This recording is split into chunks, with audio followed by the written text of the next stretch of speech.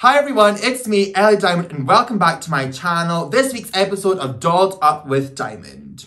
For this week's episode of Dolled Up with Diamond, I'm going to be showing you guys how I done my makeup for the runway of RuPaul's Drag Race UK Season 2 Monster Mashup. For this, I took inspiration from a werewolf and a goblin and mashed the two together. So if you want to see how I achieved this look, then keep on watching.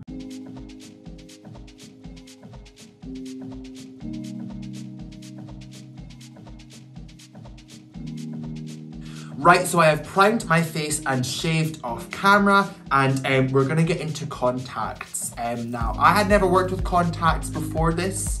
Um, on the show, it was very much like, you've got this time to get ready, get it done. And it literally took me about half an hour to 45 minutes just putting in contact lenses itself. Um, so the makeup might have been a bit rough on the show, but it was still a fun look. So I've been soaking my contact lenses in solution, just a little solution thing. I'm gonna put some drops in my eye just so that it's a bit wet for when I put the contacts in.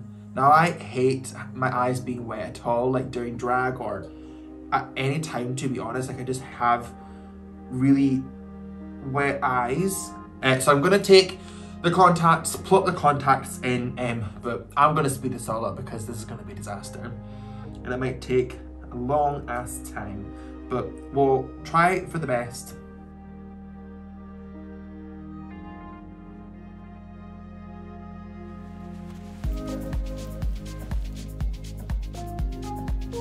Right, so for this video, I've only done this look like twice after the show, uh, including today. So I haven't got a new nose prosthetic. So I'm just gonna take the nose prosthetic that I used from the show with the same makeup on it, the same eye shape, the same everything.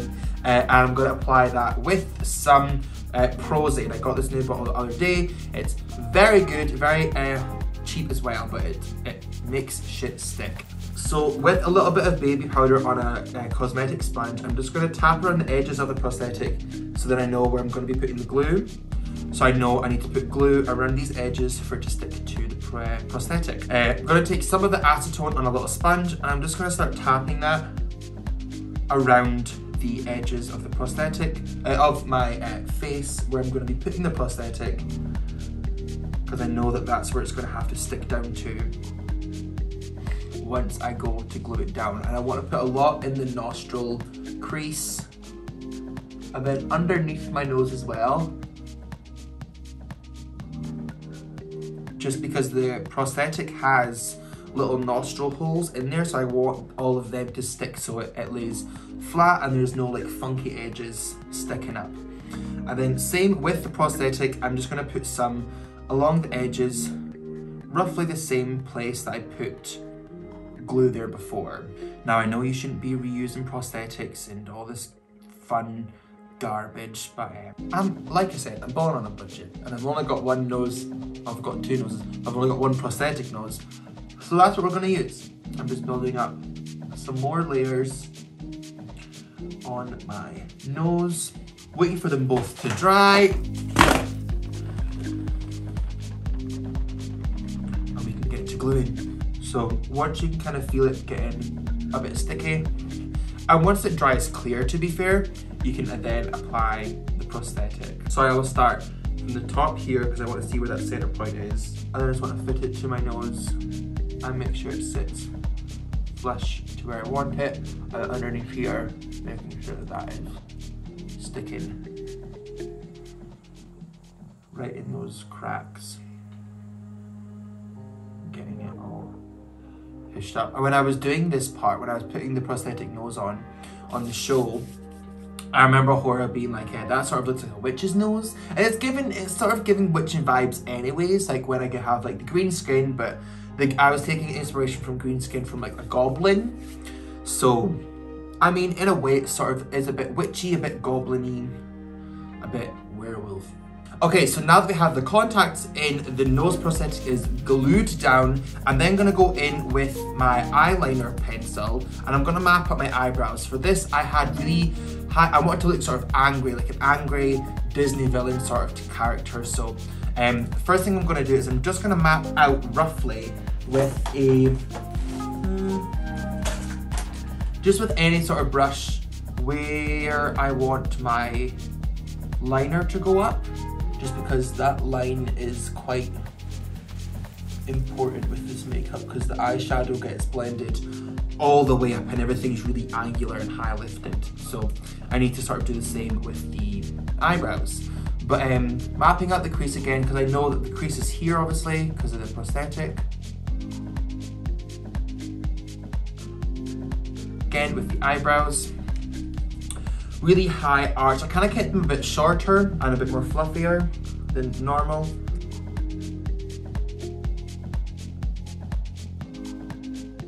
And it's okay if they're not completely even because um, we're just gonna fill them in with black anyways and we're gonna conceal around with them. Okay, now with my big tub of Clown White, you know, we love this in this house. We're just gonna take it and since we're gonna need to use this, we're gonna use our handy dandy back of our hand, scoop some on the back of that, and then we're gonna conceal underneath my eyebrows and get that under eye really, really white for then all the colors to really stick on when we start doing eyeshadow.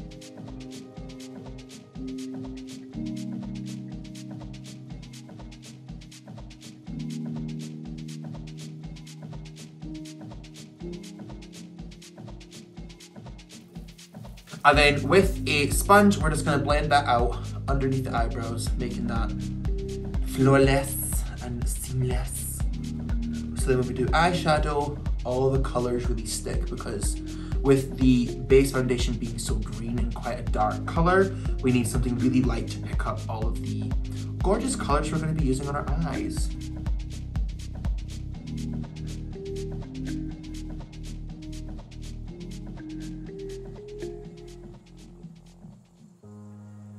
Okay, so before we go in with any of the base foundations with being green or whatever, we're just gonna go in and take some foundation, just a couple of pumps. You don't need much, just because I feel like the green needs something to stick to first before it goes straight to your skin because it doesn't really give the best coverage. So I'm just taking a little brush and I'm just gonna blend this foundation all over just so that it gives me a slight base to work off of and to pick some of the color up from the green. Okay, so now going in with the Give Face Grease palette, I'm then gonna go in and do all the highlights, contours, and uh, the overall green skin tone. For highlights, we're using yellow because I feel like uh, I've used white on green uh, on green skin before and it's always not really looked realistic, but when I done it on the show, I used yellow um, and it looked really real, like a real goblin sort of character. So we're just gonna go in and we're gonna scrape some out of here. And when I say some, I mean quite a lot. Um, and then again on the back of the hand, doesn't really matter if you mix it in with the white, it sort of all comes together in the end. And then we're gonna take it, and then honestly, we're just gonna paint with our fingers because I feel like that's the easiest with paints like this. It kind of, if you put it on something else and you're wasting that product on something else, on something else, on something else. So just go in here and just start tapping all that into your face. And this is like a lot of product I've got on the back. This is a lot of product. I feel like I'm about to audition for Shrek, the musical on Broadway.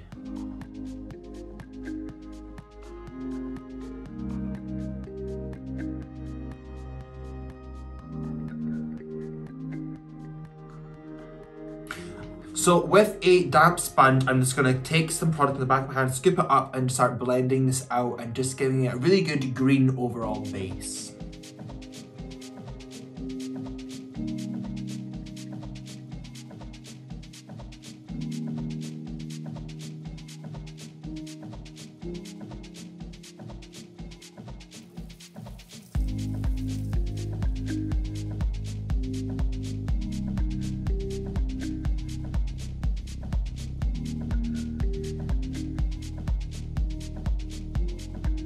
So now that my skin is green and we're feeling the Shrek, Wicked Witch of the West, Elphaba, fantasy and all that good stuff, we are now gonna go in and we're gonna take from the same flash palette, we're gonna take the white, uh, not the white, the yellow, And we're gonna, again, scoop a lot of that on the back of our hands.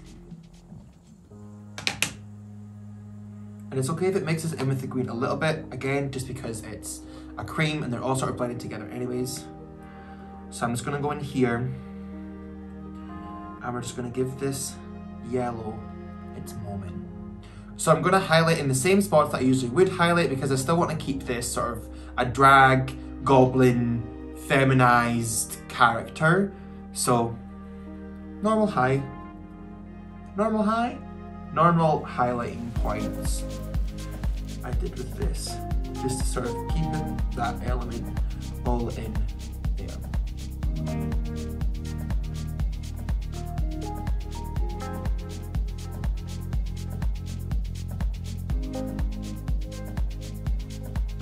Okay, so I like the way that my highlights are looking just now. I like the fact that it's like, you can see the yellow tones and if you squint your eyes, you can see the darker greens as well. I am gonna go in with my black from the same palette, the same flash palette. I'm gonna go in with the black and I'm gonna put it on the back of my hand just where the uh, green is here, just so I can still sort of mix it in with the green so it's not so, so, so black, it's more like a dark green. Uh, I'm actually just gonna mix those two colors together So a little bit of the green again, and then take a little bit of the black, and we're just gonna mix on the back of our hand, we're just gonna mix these two colors together so we have a sort of dark green shade. Once it gets applied to our skin, add a little bit of the yellow in if you want just to lighten it up. But we're just gonna take some of this and we're gonna start blending it to the normal contours of the face.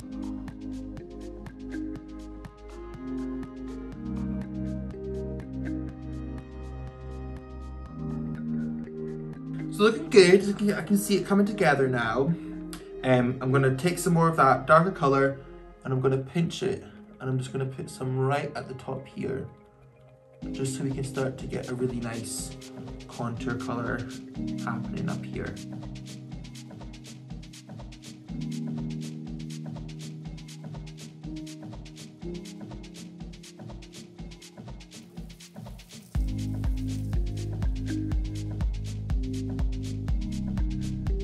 Okay, so now that I've got all the colors down, I've got the greens, the yellows, and the blacks, we're gonna go in with baby powder and we're just gonna set our entire face and then come back and do some contouring and highlighting with powders.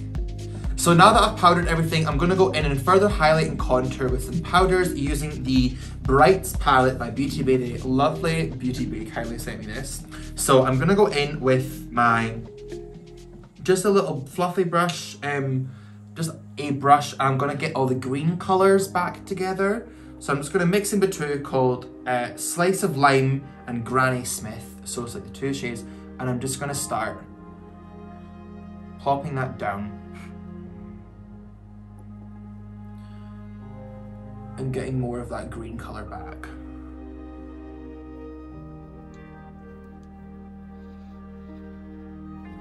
Now you see the difference between this side here and this side here. This side is a bit more pale and this side has a bit more color.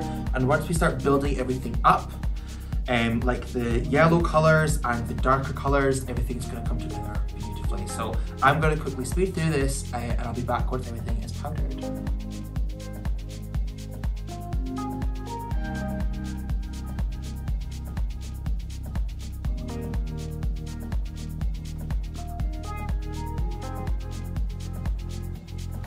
Okay, so I've gone in and done all the green colors.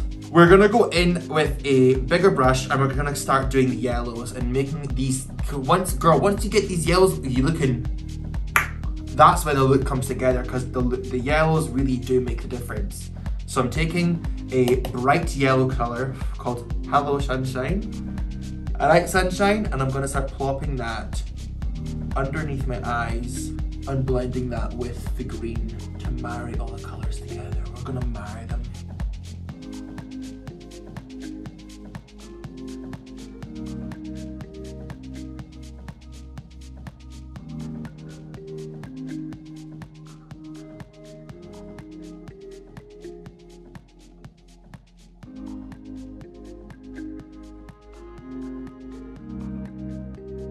And then with the yellow, I don't want this to look really yellow because I don't want this highlight to be that bright, but I still want to put some color just underneath here to give my jawbone a bit more definition. And then we're gonna go in with the darker colors. We're gonna take some darker greens, some darker blacks, and maybe even a couple of browns and we're going to start uh, contouring. So I'm just going to use a dirty little brush that I found and we're going to take the darker um, brown, uh, darker green shade that's in that palette. I don't really know what the colour this is going to turn out like, but we're just going to see. I guess to further the contours, just that extra bit with the green. I think we'll use this.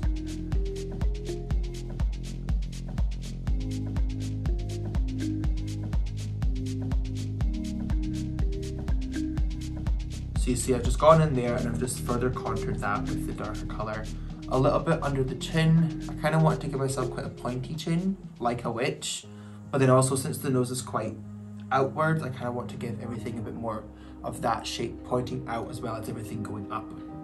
Okay, so now we're gonna go in with the blacks and we're just gonna give it a very, very, very soft contour just at the edge because we have contoured a lot, but just to contour even further, taking the black, and honestly that is going to be enough. Just put some color down and then blend it out once we have figured out where all the contours are going. So you're just going to put the contours in the normal places you would making sure everything stays nice and blended as you go. You don't want much harsh lines just now. Close the palette. And then just what's ever left on the brush you're just gonna start blending that out.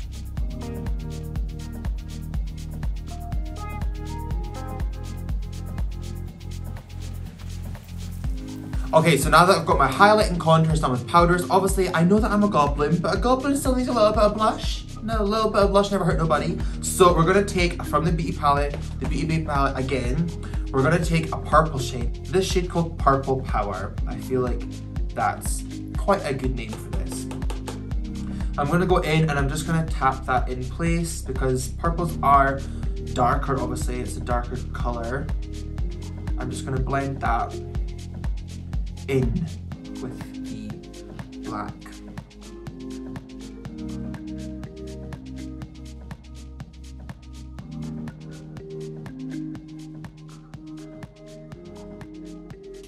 Okay, so I'm gonna start doing my eyes and I'm again, as the last tutorial, I'm gonna go in and I'm gonna just map out where I want my liner, where I want the cut crease, and I'm gonna fill in the eyebrows as well just because I have the black marker here. So I'm just gonna go in and give that line, and this is going all the way up. Like, so we're gonna go from this eye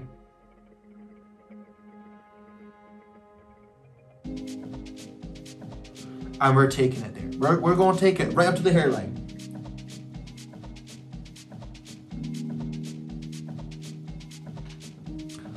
Like so. And then from the point in the prosthetic that we obviously have here, we're just gonna make a line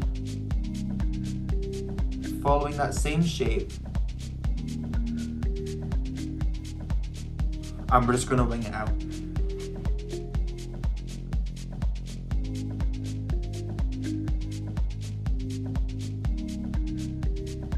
Okay, so now that we have the black liner where I'm going to be doing my eyeshadow, I'm obviously going to go in with the Beauty Bay palette yet again, and we're going to take some shadow on the a little small uh, fluffy brush, quite a dense one, and we're just going to blend that line out with the black.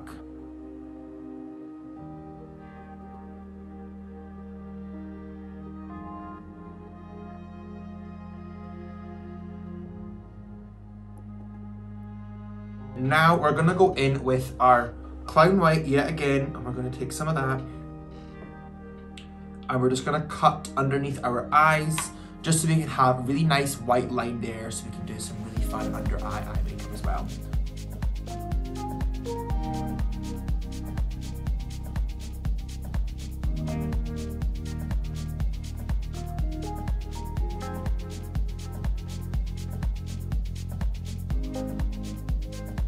And then just taking your finger, blend that out underneath your eye.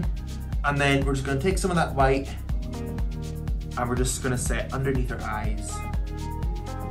So we have a good base to start with under the eyes. Okay, so now that I've got the white there, I'm just gonna go back in with the black and we're just gonna make ourselves a lovely under eye.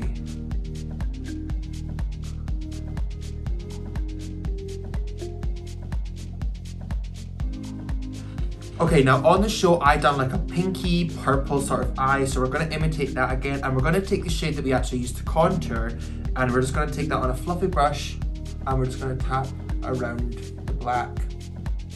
So I'm just blending up the purple, and I'm not really caring if it looks all that great, because it's meant to sort of look grungy, dark, mysterious, smoky, purple black eye. So we're just doing that really today. Take some more purple, going underneath the eye. So I'm going in with a pink shade after I've sort of diffused the purple, diffused the black. I'm going in with a pink shade and I'm just lightly tapping that all over these colors just to give it a bit more of a pinky tone as well. Okay, so now that I've got the eyeshadow looking the way that I like it on the show and the way that I sort of remember it being, um, I'm gonna do my eyebrows, cut my crease and do my liner off camera just because you've seen me do that a million times, but I've only got two makeup tutorials on YouTube. But anyways, I'm gonna do it off camera and I'll be back with doing finishing touches and uh, lips and stuff like that.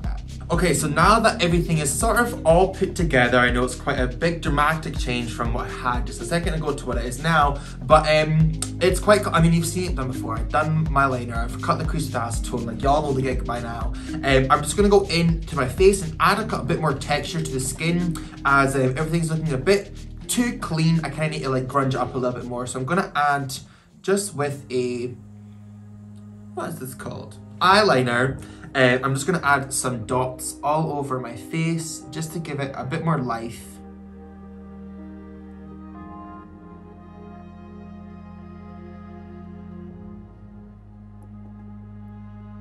And then since we've done all the little black dots, we're gonna go in and we're just gonna put some white dots as well.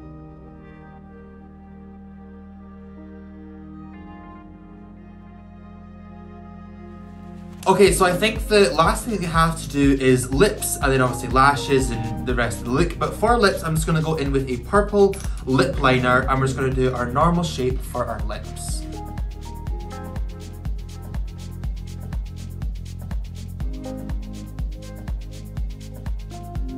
Okay, so I've got the basic outline of the lips. I'm gonna go in with like a dark purpley pink color, and I'm just gonna fill it in, and then we're gonna add a very fun color on top of everything else.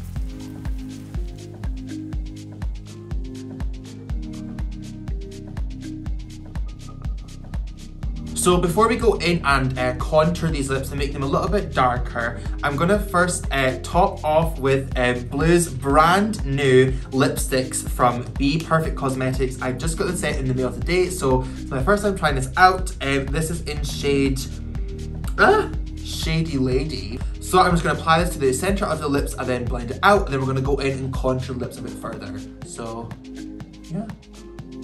Oh! Oh, that's bright. And then going back in with the lip liner, we're just gonna darken everything up a little bit more.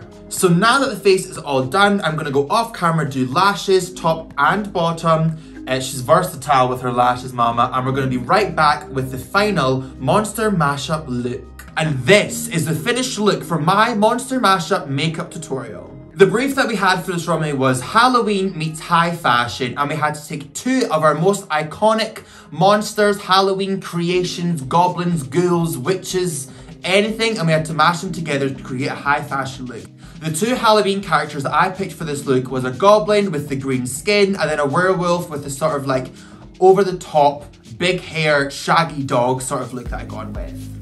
This runway was a lot of fun because I got to show a lot of my makeup skills with this runway as well as the presentation I thought had a, a lot of fun walking down that runway gurring at the judges and like having a little like cheeky giggle. Oh, not all my hair coming in my face. Having like a little cheeky giggle on the runway and just having fun. And at the end of the day, that's what drag is about, having fun. And I certainly had fun with this look.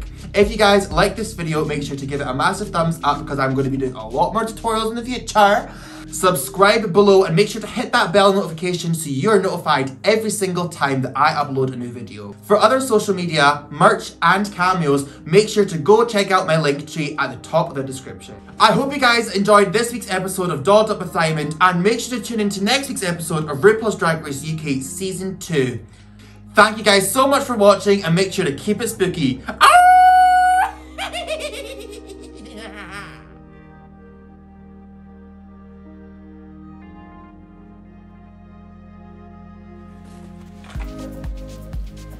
Oh my god, my ear fell off. They call me Megatron. They call me Superman. Oh my god, I was almost sick. Okay, that's fine. I'm gonna do a TikTok now.